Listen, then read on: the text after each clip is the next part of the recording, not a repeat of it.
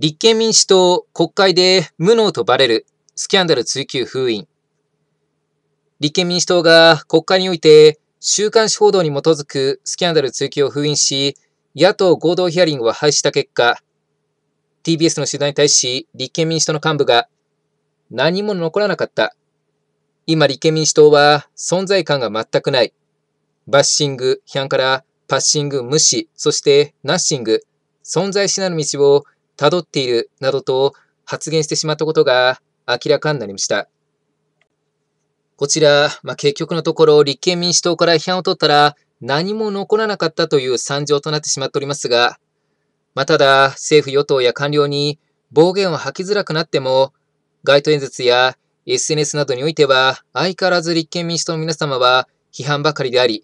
まあ、こういった批判が続いている時点で国民の評価は変わっていないものと思われ、また、批判だけをやめても、建設的な議論、提案を行わなければ、国民の皆様がマイナスに振り切れた評価をですね、少しでもゼロに近づける、また、プラスまでですね、引き上げていくというのは難しいんじゃないかと思われます。まあ、ぜひとも立憲民主党の皆様には、批判の封印だけではなくて、建設的な提案や議論も行っていただき、国民の皆様から日本に必要な政党だと、